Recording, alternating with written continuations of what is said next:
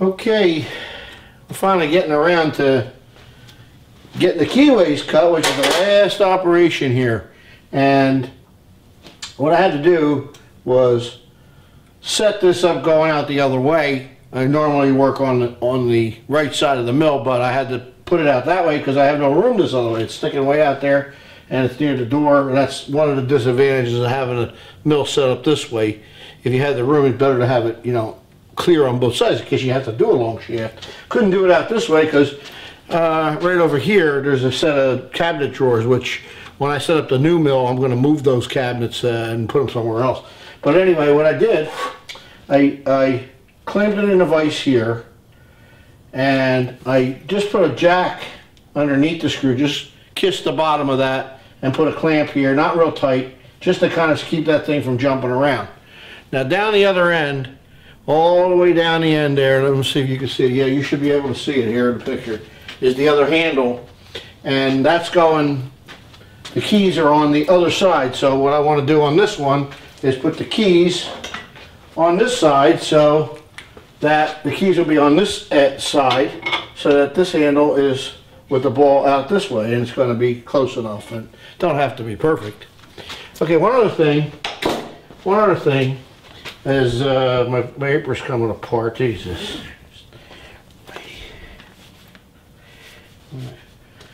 And another thing I needed to do was the table, I don't have enough travel because it's only a 32 inch table and that's the one nice part about going to a 42. So I needed to get out here and I, I was almost to the end of the travel. So with the turret mill, the vertical turret mill, which is the proper name for this machine, the vertical turret mill, the whole dovetail ram here that this is this head is on can swivel back and forth anywhere you want. It could swivel without losing indication. So I loosened up the four bolts, swung the head way over here, and I'm able to work over over on this side. And um, it's not going to lose the indication. Even if it did, I can indicate it again, but I don't have to. So now I'm pretty much ready to cut this keyway, so I'm going to put two small ones. I got a smaller keyway than the original, which is okay. Doesn't matter that much. I'll just put two here to run the gear, which is over here someplace. Uh, here, I'll just put two keys, two keys on this, and that'll be, you know, just let me see what what we got.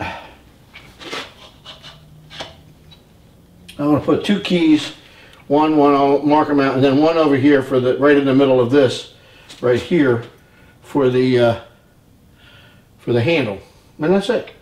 Now, all the information for the keys, to get the keys, is in the uh, machinery's handbook, and I'm going to get one. I have it.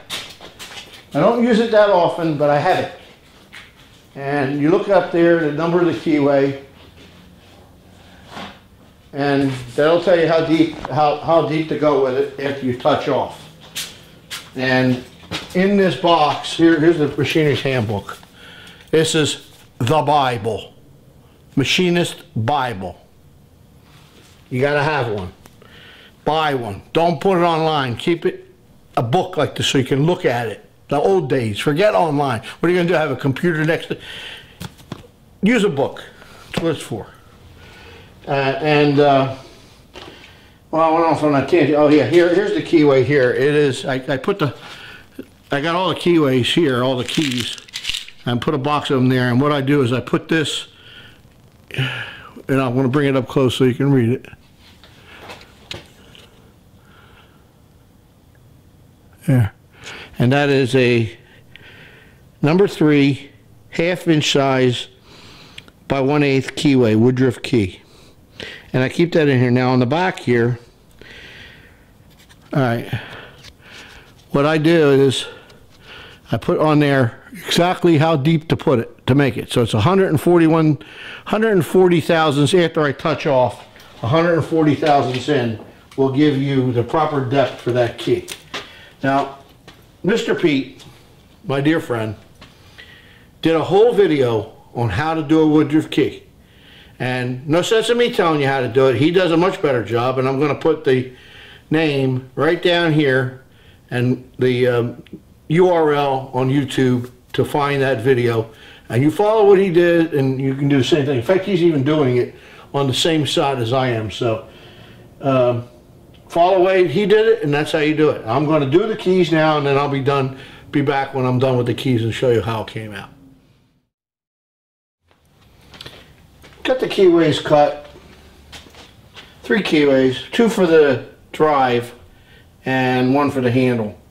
And I got to take the burrs off and everything, but the keys will fit in there. Uh, interesting enough, I talked about the uh, VDF, VFD. Everything's got to have initials, right? VDF, B boop bop. Jeez, oh man, why can't they just say variable frequency drive? There, over there on the wall. Believe me, if you're thinking about putting one on your mill, I know I'm going to hear some flack about it. Don't do it. I couldn't even cut this thing here without the thing bogging down. I still have to change the belts. It's not helping me whatsoever. The only thing that's good about it, like my friend Dan has one, he has it cranked all the way up and he's running the the um, thing from the very running the machine from the variable speed. That just creating three phase. That that's probably okay. But to actually rely on that for speed change and all, it isn't worth it. You can't cut a heavy cut. So do yourself a favor. Just go with the regular converter.